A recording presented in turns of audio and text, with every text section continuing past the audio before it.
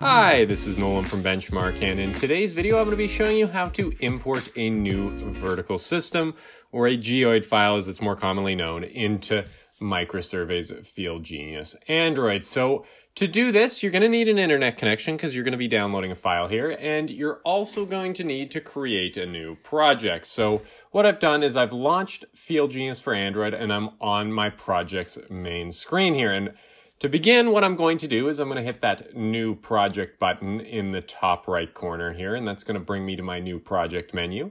And I'm going to have to give this project a name. Let's just call this my geoid. Oh, there we go. Let me retype this, geoid.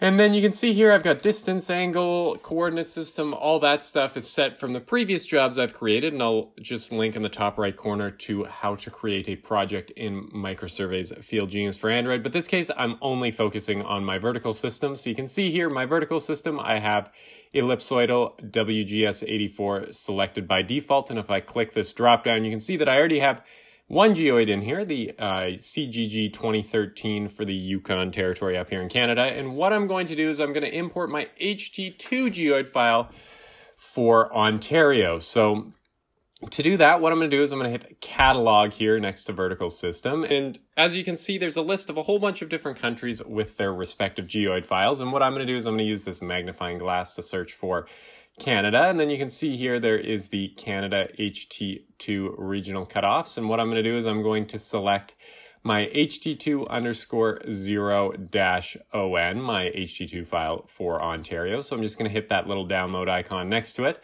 and it'll download it. I got a pretty fast internet connection here, so it took a couple of seconds. And once it's downloaded, if I hit the back arrow and back out of my geoid catalog and go to my vertical system, you can see that I now have a third option here, that ht2-on.bin file, which is my ht2 file for Ontario. So I'm going to close this vertical system by selecting the Ontario one.